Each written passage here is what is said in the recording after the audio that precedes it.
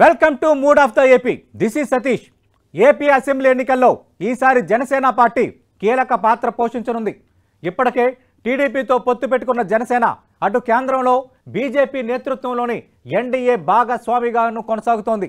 రాష్ట్రంలో టీడీపీ కేంద్రంలో బీజేపీకి మద్దతిస్తున్న జనసేన అని పవన్ కళ్యాణ్ చుట్టూనే ఏపీ రాజకీయం తిరుగుతోంది. పవన్ను ఒంటరిగా పోటీ చేయమని ఎవరు ఎన్ని సవాళ్ళు విసిరినా అధికార వైసీపీని ఓడించాలన్న ఏకైక టార్గెట్తో టీడీపీతో పొత్తుకే మొగ్గు చూపారు పవన్. మరి పవన్ లక్ష్యం నెరవేరుతుందా? జనం ఏమనుకుంటున్నారు? జనం దృష్టిలో జనసేన ప్లస్లేంటి మైనస్లేంటి? జనం పర్సెప్షన్లో జనసేనకున్న ప్లస్లేంటో మైనస్లేంటో ఒకసారి చూద్దాం. ముందుగా ప్లస్ల విషయానికి వస్తే జనంలో తిరిగిలేని ఇమేజ్. పవన్ కళ్యాణ్కు జనంలో తిరిగిలేని ఇమేజ్ ఉంది. మామూలుగా హీరోలకు అభిమానులు ఉంటారు కానీ పవన్ కళ్యాణ్కు భక్తులుంటారు. ఆ స్థాయిలో ఇమేజ్ సంపాదించుకున్న హీరో పవన్ కళ్యాణ్. అటు సినిమా జయాపజయాలతో సంబంధం లేకుండా భారీ ఓపెనింగ్ సాధించడం టాప్ ఫైవ్ నటుల్లో ఒక కీలక నటుడిగా ఉండడం అంతకు మించి యూత్లో విపరీతమైన క్రేజ్ ఇమేజ్ ఉండడం పవన్ కళ్యాణ్కు ఒక ప్లస్ పాయింట్గా మనం చూడాలి. అలాగే మరో ప్లస్ పాయింట్ ఏంటో మనం చూద్దాం. దూకుడు స్వభావం. ఎక్కువగా పవన్ కళ్యాణ్ అభిమానులు జన సైనికులు పవన్లో నచ్చే గుణం దూకుడు స్వభావం. ఆయన దూకుడుగా మాట్లాడడం దూకుడుగా కొన్ని చేష్టలు చేయడం ఇవన్నీ పవన్ అభిమానులు ఎక్కువగా ఇష్టపడతారు. ఆ దూకుడు స్వభావంతో ఆయన చేసే వ్యాఖ్యలు ఎక్కువగా ప్రజల్లో చర్చకొస్తాయి. ఎక్కువగా పవన్ వ్యవహరించే ఆ తీరే అభిమానులకు ఎక్కువగా నచ్చుతుంది. జన సైనికులు కూడా తమ నాయకుడు అదే స్థాయిలో మాట్లాడాలని కోరుకుంటారు. అదే స్థాయిలో దూకుడు స్వభావంతో ఉండాలని కోరుకుంటారు. అలాగే చాలా ఇన్సిడెంట్లు అయ్యేటప్పుడు కూడా దూకుడుగా ముందుకు వెళ్ళడం ముళ్ళ కంచెలు అన్నీ దాటుకొని బారికేడ్లు దాటుకొని ముందుకు వెళ్ళడం అలాగే ఓపెన్ టాప్ జీప్ మీద ప్రయాణం చేయటం ఈ విధంగా కొంత దూకుడు ప్రదర్శించడం అనేది పవన్ కళ్యాణ్ నైజంగా మనం చూడొచ్చు. ఆ దూకుడు స్వభావమే ఎక్కువ మంది అభిమానులను ఆయనకు దగ్గర చేసిందనేది ఒక ప్లస్ పాయింట్గా చెప్తారు. అలాగే మరో ప్లస్ పాయింట్ ఏంటో మనం చూద్దాం. స్వచ్ఛందంగా తరలి వచ్చే అభిమానులు. మామూలుగా మనం చూస్తే పవన్ కళ్యాణ్కున్న ఇమేజ్ పవన్ కళ్యాణ్కున్న ఫాలోయింగ్ నేపథ్యంలో పవన్ కళ్యాణ్ ఏ కార్యక్రమానికి పిలుపునిచ్చినా ఎక్కడికి వెళ్ళినా అభిమానులు స్వచ్ఛందంగా తరలి వస్తారు. ఎందుకంటే రాజకీయాల్లో కొన్ని రాజకీయ పార్టీలు కొన్ని సభలు నిర్వహించాలన్నా అలాగే భారీగా ర్యాలీలు తీయాలన్నా కంపేటివ్గా జనసేనతో కానీ పవన్ కళ్యాణ్తో కానీ పోల్చుకునేటప్పుడు కొంత నియోజకవర్గాల నుంచి పార్టీ కార్యకర్తలని ప్రజలని తరలించే పరిస్థితి కనిపిస్తుంది. కానీ పవన్ కళ్యాణ్ విషయానికి వస్తే సొంత ఖర్చులు పెట్టుకొని అభిమానులు స్వచ్ఛందంగా ఆయన కార్యక్రమాలు సభలకు హాజరవుతారు. ఒక్కరోజులో పిలుపునిచ్చిన భారీ సంఖ్యలో అటు అభిమానులు స్వచ్ఛందంగా గ్యాదర్ అవ్వటం అనేది పవన్ కళ్యాణ్కు జనసేనకు ఒక ప్లస్ పాయింట్. అదే సందర్భంలో ఆయన ఒక్క పిలిపిస్తే స్వచ్ఛందంగా కార్యక్రమాలు నిర్వహించే స్థాయి అభిమానులు పవన్ కళ్యాణ్కు ఉండడం ఆయనకు ఒక ప్లస్ పాయింట్. మరికొన్ని ప్లస్ పాయింట్స్ ఏంటో మనం చూద్దాం. యువతలో అత్యధిక following.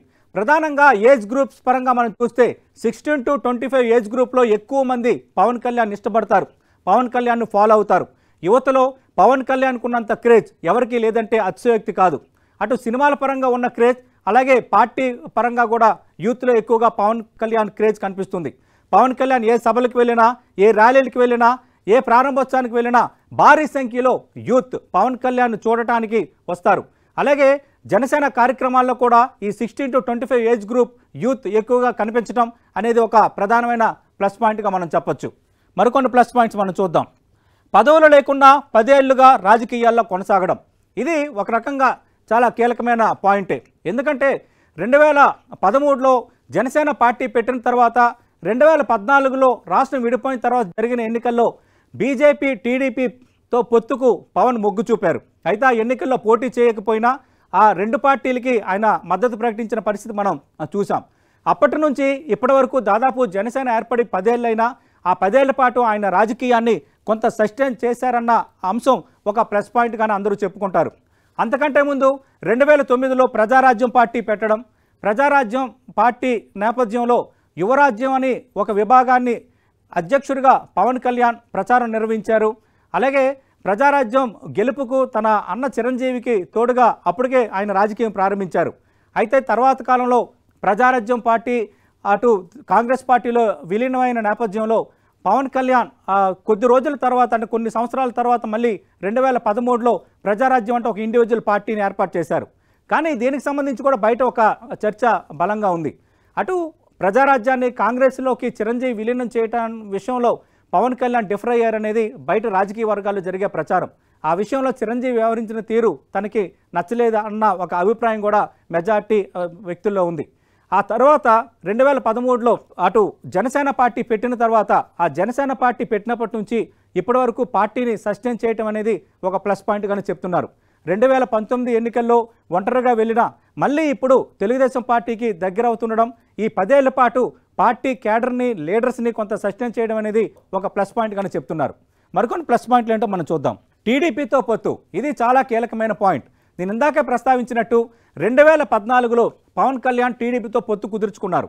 TDP BJP Pawan Kalyan ముగ్గురు కలిసి ఎన్నికలకు వెళ్ళారు. కానీ ఆ ఎన్నికల్లో జనసేన పోటీ చేయలేదు. మామూలుగా మద్దతుగానే ప్ర ప్రకటించింది. రెండు వేల పంతొమ్మిది ఎన్నికలకు వచ్చేసరికి తెలుగుదేశం పార్టీ బీజేపీ జనసేన మూడు ఒంటరిగానే పోటీ చేశాయి. అయితే గత ఎన్నికల్లో ఒంటరిగా పోటీ చేయడం వల్ల చాలా నష్టపోయి ఉన్న భావనలో పవన్ కళ్యాణ్ ముందు నుంచి ఉన్నారు.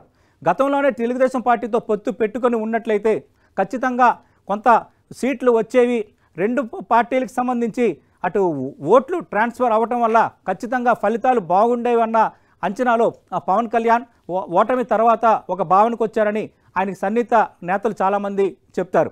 ఎందుకంటే రెండు వేల పంతొమ్మిది ఎన్నికల పర్సంటేజ్లు మనం చూసేటప్పుడు కూడా తెలుగుదేశం పార్టీకి నలభై శాతం వచ్చాయి. అలాగే జనసేనకు ఆరు శాతం ఓట్లు వచ్చాయి. అలాగే ముప్పై తొమ్మిది స్థానాల్లో ఈ రెండు పార్టీల మధ్య ఓట్లు సంబంధించి ఒకవేళ కలిసి ఉంటే ఫలితాలు వేరేగా ఉండేవన్న ఒక అంచనా. ఆ ఫలితాల సరళి చూసిన తర్వాత ఎవరికైనా అర్థమయ్యే విషయం.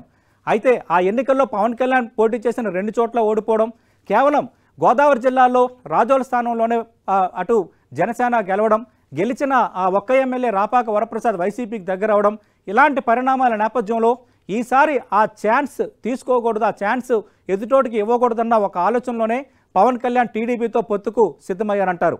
ఫైనల్గా చూస్తే ఎట్టి పరిస్థితుల్లో అటు అసెంబ్లీలో ఇటు లోక్సభలో జనసేన అడుగు పెట్టాలన్న ఏకైక లక్ష్యంతోనే ఆయన తెలుగుదేశం పార్టీతో చేతులు కలిపారనేది ఎక్కువ మంది చెప్పే మాట. ఒక రకంగా తెలుగుదేశం పార్టీతో ఇప్పుడు పొత్తు కుదుర్చుకోవడం అనేది జనసేనకు రాజకీయంగా బాగా లాభించే అంశం ఒక ప్లస్ పాయింట్ అంశంగా కనిపిస్తోంది.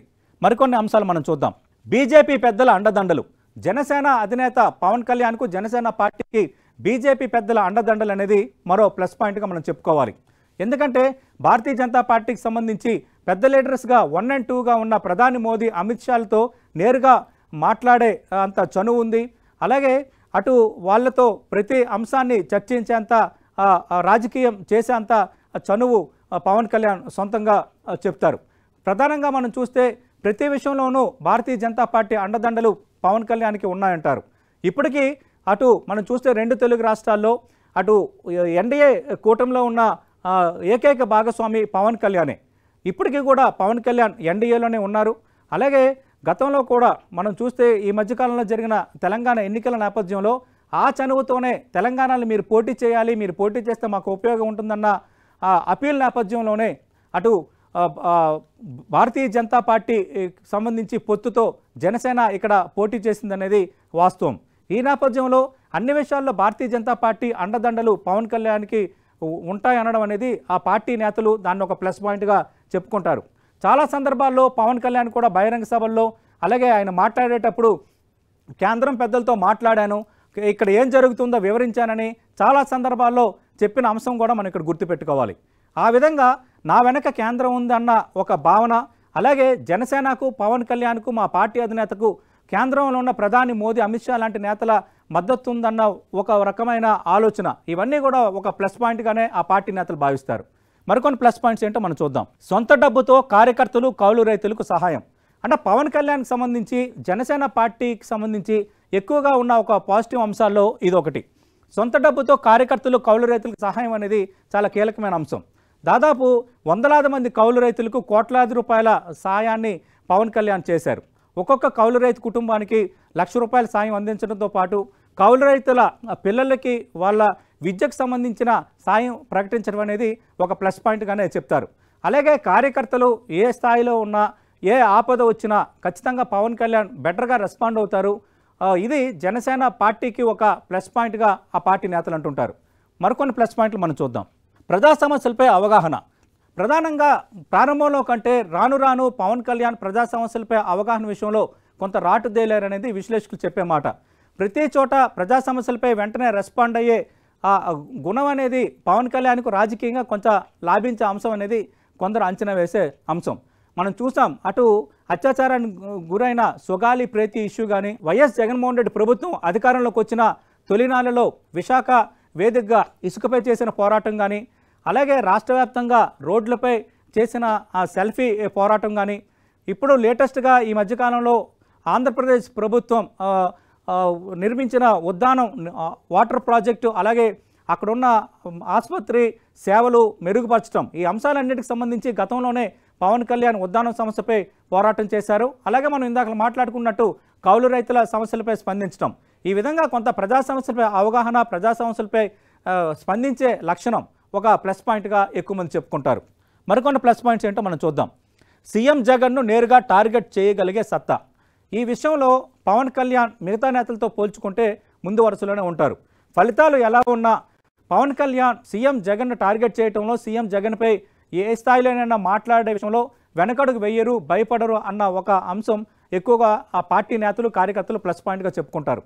కాపు రిజర్వేషన్ల ఎపిసోడ్ జరిగినప్పుడు ముద్రగడ ఎపిసోడ్ జరిగినప్పుడు ఆ సందర్భంలో కూడా ఆ పవన్ కళ్యాణ్ జగన్మోహన్ రెడ్డిని ఉద్దేశించి చేసిన వ్యాఖ్యలు రాష్ట్ర రాజకీయాల్లో ఒక రకంగా ఆ చర్చకు దారితీసాయి ప్రతి విషయంలో కూడా ఎంతసేపు నా మూడు పెళ్ళిళ్ళపై మాట్లాడతారని పదే పదే జగన్ని టార్గెట్ చేయడం అదే సందర్భంలో జగన్మోహన్ రెడ్డిని ఓడించడమైన లక్ష్యం వైసీపీని ఖచ్చితంగా ఓడిస్తాం ఇంటికి పంపిస్తామంటూ ఆ తరహా డైలాగులు చెప్పడం అనేది ప్రధానంగా ఎక్కువ మంది ఆ పార్టీ కార్యకర్తలు జనసేన కార్యకర్తలు గట్టిగా నిలబడతారు సీఎం జగన్ని ఎదుర్కోవటంలో దేనికైనా సిద్ధమన్న ధోరణి ప్రదర్శిస్తారన్న ఆ అంశాలు ఒక ప్లస్ పాయింట్గా వాళ్ళు చెప్పుకుంటారు. పవన్ కళ్యాణ్కి సంబంధించి ప్లస్ పాయింట్లు ఏ విధంగా ఉంటే మైనస్ పాయింట్లు ఏంటో ఒకసారి చూద్దాం.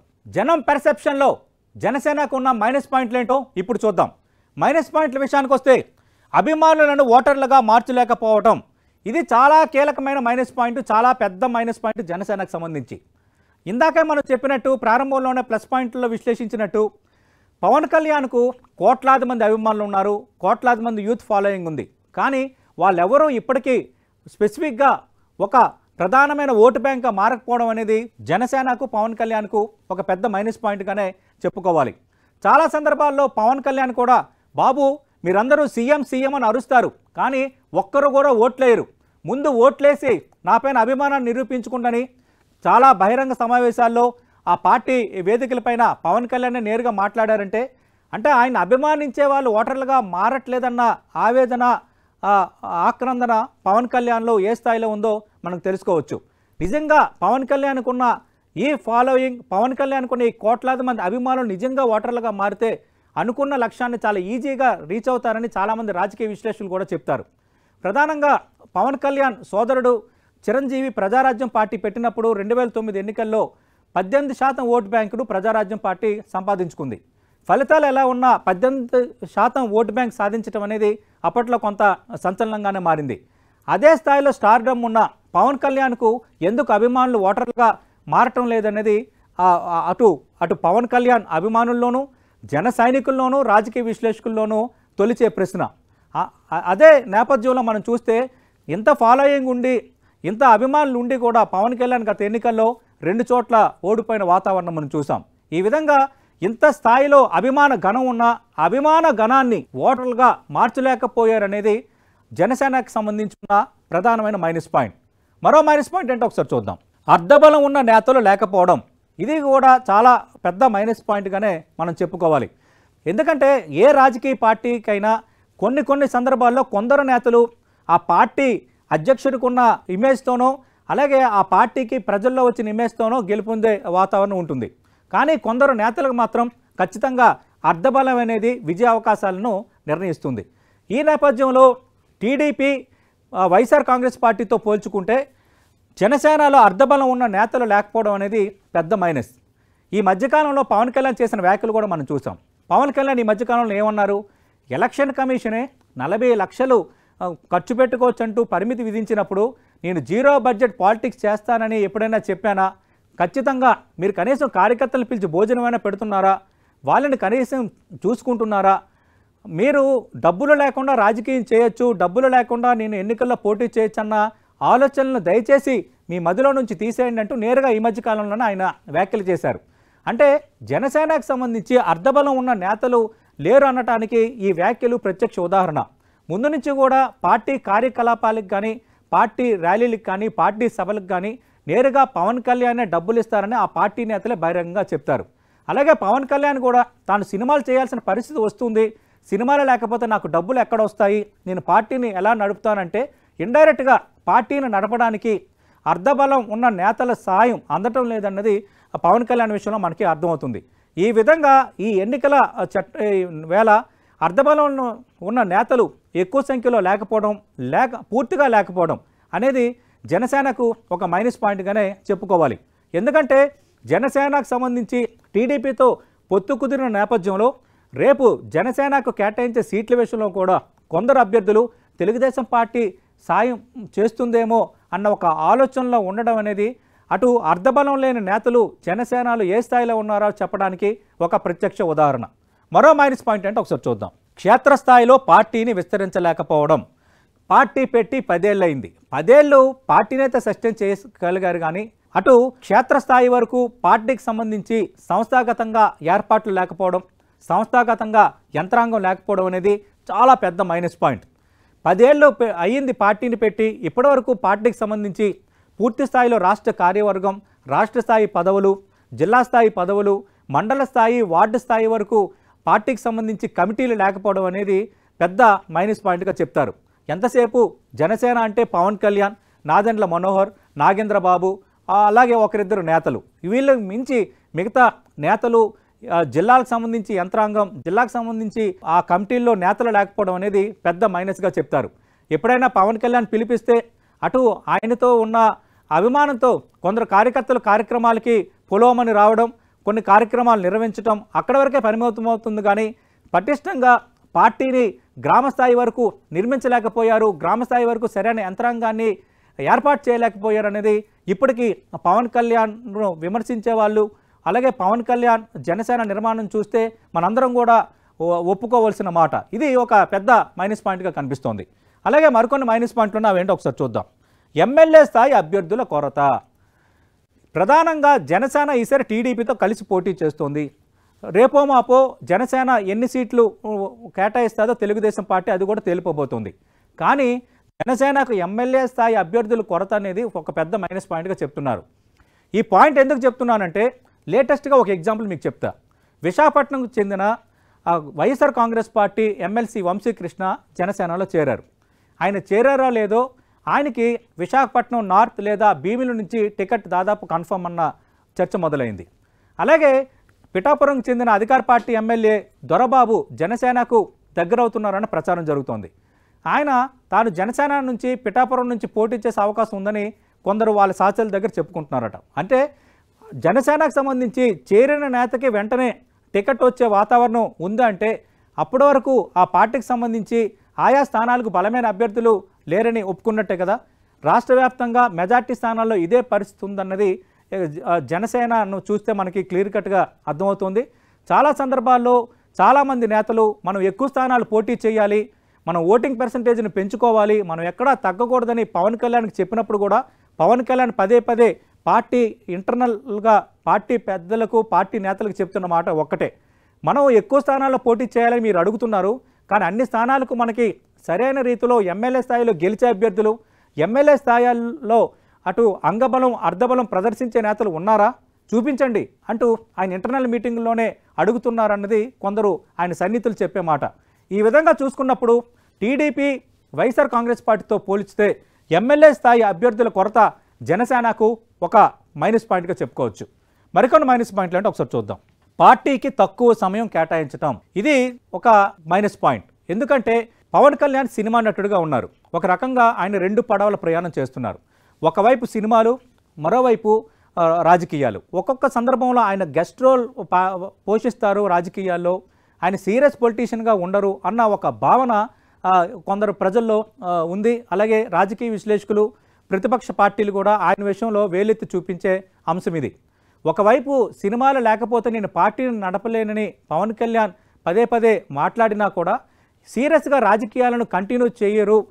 పార్టీకి తక్కువ సమయం కేటాయిస్తారు అన్నది ఒక మైనస్ పాయింట్గా ఎక్కువ మంది చెప్పుకుంటారు. ఏదైనా ఒక అంశాన్ని సీరియస్గా తీసుకుంటారు. మళ్ళీ సినిమా షూటింగ్ అని కొద్ది రోజులు గ్యాప్ ఇస్తారు అన్న ఒక రకమైన విమర్శ పవన్ కళ్యాణ్పై ఉంది. ఒక ఎగ్జాంపుల్ నేను మీ ముందుకు తెచ్చే ప్రయత్నం చేస్తాను. ప్రధానంగా మనం చూస్తే పవన్ కళ్యాణ్ వారాహి యాత్ర పేరుతో ప్రజల్లోకి వెళ్ళారు. నాలుగు విడతల వారాహి యాత్ర పూర్తయింది. ఆ యాత్ర పూర్తయి నాలుగు నెలలైంది ఇప్పుడు ఐదో విడత ప్రారంభం కాలేదు.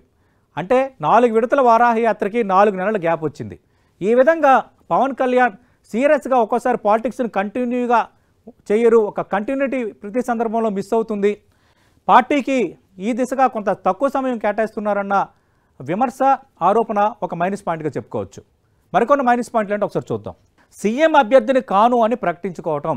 ఇది పవన్ కళ్యాణ్ విషయంలో ఒక పెద్ద బ్లండర్గా విశ్లేషకులు చెప్తారు. ఎందుకంటే ఏ రాజకీయ పార్టీ అయినా ఎన్నికల సమరాంగంలోకి దిగినప్పుడు రాజకీయాలు చేయడానికి సిద్ధమైనప్పుడు అంతిమ లక్ష్యం అధికారం. అధికారంలోకి రావడం ఆ పార్టీ అధ్యక్షుడు సీఎం అవ్వడం అటు ప్రజలకు ఆ పార్టీ ఇచ్చిన హామీలు నెరవేర్చే దిశగా అడుగులు వేయటం. ఏ పార్టీ అయినా చేసే ఆలోచన ఇదే. అది చిన్న పార్టీ కావచ్చు పెద్ద పార్టీ కావచ్చు. కానీ నేను సీఎం అభ్యర్థిని కాను. నేను సీఎం అవ్వడానికి ఇక్కడికి రాలేదు. నేను ప్రజా సేవకుణ్ణి. నాకు మీరు ఓట్లేసినా ఓట్లేయకపోయినా నన్ను సీఎం చేసినా చేయకపోయినా నేను మీ తరపునే ఉంటా. ప్రజల తరపున పోరాటం చేస్తానని చాలా సందర్భాల్లో పవన్ చేసే వ్యాఖ్యలు జన సైనికులకు పార్టీ కార్యకర్తలకు చికాకు తెప్పిస్తుంటాయి. మరి నువ్వు సీఎం కాను అన్నప్పుడు మేమెందుకు నీకు కష్టపడాలన్న ఒక భావన కూడా పవన్ కళ్యాణ్ అభిమానించే వర్గాల్లో ఒక వర్గం ఎక్కువగా ఎత్తు ఎత్తి చూపించే అంశం. అటు రాజకీయంగా పవన్ కళ్యాణ్ చేసే వ్యాఖ్యలు ఆయనలో కొంత కాన్ఫిడెన్స్ లేదన్న సంకేతాన్ని పంపే ప్రమాదం ఉందన్న ఆలోచనలు కూడా కొందరు విశ్లేషకులు చేస్తుంటారు. ఈ విధంగా సీఎం అభ్యర్థిని కాను అని ప్రకటించుకోవటం ఇవన్నీ చూస్తున్నప్పుడు ఇది ఒక పెద్ద మైనస్ పాయింట్గానే మనం చూడాలి. జనసేన విషయంలో మరో మైనస్ పాయింట్ ఒకసారి చూద్దాం. బీజేపీ టీడీపీతో డ్యూయల్ రోల్. మనం ఇందాక అనుకున్నట్టు పవన్ కళ్యాణ్ అటు రాజకీయాలు సినిమాలంటూ రెండు పడవల ప్రయాణం ఎలా చేస్తున్నారో అలాగే పొత్తుల విషయంలో కూడా రెండు పడవల ప్రయాణం చేస్తున్నావా అని అనేవాళ్ళు కూడా ఉన్నారు. ఎందుకు ఈ మాట చెప్తున్నానంటే రెండు తెలుగు రాష్ట్రాల నుంచి ఎన్డీఏలో భాగస్వామిగా ఉన్న ఏకైక పార్టీ ఏకైక నాయకుడు పవన్ కళ్యాణ్ జనసేన మాత్రమే. పవన్ కళ్యాణ్ ఈ మధ్య కాలంలోనే తెలుగుదేశం పార్టీతో పొత్తు కుదుర్చుకున్నారు. అలాగని భారతీయ జనతా పార్టీ టీడీపీతో పొత్తు లేదు. రేపటి కాలంలో భారతీయ జనతా పార్టీ కూడా మాతో ఖచ్చితంగా పొత్తుతో కలిసి వస్తుందన్న ఆ- ఆశను ఆకాంక్షను పవన్ కళ్యాణ్ చాలా సందర్భాల్లో వ్యక్తపరుస్తున్నారు. అటు తెలుగుదేశం పార్టీ కూడా భారతీయ జనతా పార్టీ వస్తే మేము స్వాగతిస్తామని పదే పదే చెబుతోంది. కానీ భారతీయ జనతా పార్టీ వస్తుందా రాదా అన్న మీమాంస ఇంకా కొనసాగుతూనే ఉంది. ఈ నేపథ్యంలో అటు పవన్ కళ్యాణ్ ఇటు టీడీపీతో పొత్తులో ఉన్నారు అలాగే భారతీయ జనతా పార్టీతో పొత్తులో ఉన్నారు. ఒకవేళ కనుక రేపు భారతీయ జనతా పార్టీ మీ కూటమితో మేము రాము మేము ఒంటరిగా వెళ్తామంటే మరి అప్పుడు పవన్ కళ్యాణ్ ఏం చేస్తారు? పవన్ కళ్యాణ్ నిర్ణయాలు ఎలా ఉండబోతాయి అన్నది ఆసక్తికరమైన అంశం. ఈ విధంగా ఒక కోణంలో కొంత పాజిటివిటీ కనిపించినా మరో కోణంలో ఇటు రెండు పడవల ప్రయాణంలాగా బీజేపీ టీడీపీతో డ్యూయల్ రోల్ పోషిస్తున్నారన్న ఒక మైనస్ పాయింట్ పవన్ కళ్యాణ్ విషయంలో జనసేన విషయంలో కనిపిస్తోంది. మరో మైనస్ పాయింట్ ఉంది అదేంటో ఒకసారి చూద్దాం. మాటల్లో ఉన్న పవర్ చేతల్లో చూపకపోవడం. మామూలుగా పవన్ కళ్యాణ్ని అభిమానులు సినిమా ఇండస్ట్రీలో పవర్ స్టార్ అంటారు. ఆయన మాటలు కూడా అంతే పవర్గా ఉంటాయి. ఆయన వ్యాఖ్యలు కూడా అంతే ఫైర్గా ఉంటాయి. కానీ మాటల్లో ఉన్న పవర్ అలాగే ఆయన డైలాగుల్లో ఉన్న ఫైర్ చేతల్లో కనిపించదనేది ఎక్కువ మంది అభిప్రాయపడే అంశం. ఎందుకంటే కొన్ని అంశాలకు సంబంధించి ఆయన ప్రకటనలు భారీగా చేస్తారు తాడో పేడో తేల్చుకుంటామంటారు. కానీ మళ్ళీ కొద్ది రోజులు గ్యాప్ ఇవ్వడం వెంటనే అనుకున్న కార్యక్రమాన్ని ఆ దిశగా తీసుకెళ్ళలేకపోవడం ఇవన్నీ చూస్తున్నప్పుడు మాటల్లో ఉన్న పవర్ చేతల్లో చూపు అన్న ఒక భావన అటు జనసేనకు పవన్ కళ్యాణ్ సంబంధించి మరో మైనస్ పాయింట్గా మనం చెప్పుకోవాలి. జనసేనకు సంబంధించి ప్లస్లు మైనస్లు ఏంటో చూసాం కదా కానీ పవన్ కళ్యాణ్ విషయంలో ఆయన వ్యవహరిస్తున్న తీరు ఆయన పన్నుతున్న వ్యూహాలు ఎంతవరకు ప్లస్ అవుతాయో ఎంతవరకు మైనస్ అవుతాయో తెలియాలంటే మనం రేపటి ఎన్నికల వరకు వేచి చూడాల్సిందే. తెలుగుదేశం పార్టీ పొత్తు విషయంలో భిన్న వాదనలు ఉన్నాయి ఒంటరిగా వెళితే తమ బలాన్ని అంచనా వేసుకోవచ్చు. గతంతో పోల్చుకుంటే ఓటింగ్ పర్సంటేజ్ పార్టీకి బలం పెరిగింది. ఖచ్చితంగా ప్రభావం చూపగలమన్న వాదన ఒకవైపు ఉంది. కానీ తెలుగుదేశం పార్టీతో పొత్తు పెట్టుకుంటేనే రేపొద్దున్న సీట్లు సాధించగలం ఓట్లు సాధించగలం. ఆ విధంగా అటు శాసనసభలో ఇటు లోక్సభలో అడుగు పెట్టగలం అన్న వాదన అటు పవన్ కళ్యాణ్తో పాటు ఆ పార్టీ నేతల్లో మరికొందరు చేసే వాదన. ఏదేమైనా రేపు టీడీపీ జనసేన కలిసి వెళ్ళబోతున్నాయనేది సుస్పష్టం. మరి భారతీయ జనతా పార్టీ కలుస్తుందా లేదా అనేది మనం వేచి చూడాల్సిన అంశం. ఏదేమైనా అటు పవన్ కళ్యాణ్ ఈసారి ఎలా అయినా వైసీపీని ఓడించాలన్నదే ఒక ప్రధాన టార్గెట్గా పెట్టుకున్నారు. ఆ దిశగా టీడీపీతో పొత్తు పెట్టుకున్న పవన్ కళ్యాణ్ మరి సీట్లు ఓట్లు సాధిస్తారా? పవన్ కళ్యాణ్ పన్నుతున్న వ్యూహాలు ఫలిస్తాయా? ఇవన్నీ తెలియాలంటే మనం వచ్చే ఎన్నికల వరకు ఆగాల్సిందే. ఇది జనసేనకు సంబంధించి ప్లస్లు మైనస్లపై టెన్ టీవీ in-depth analysis.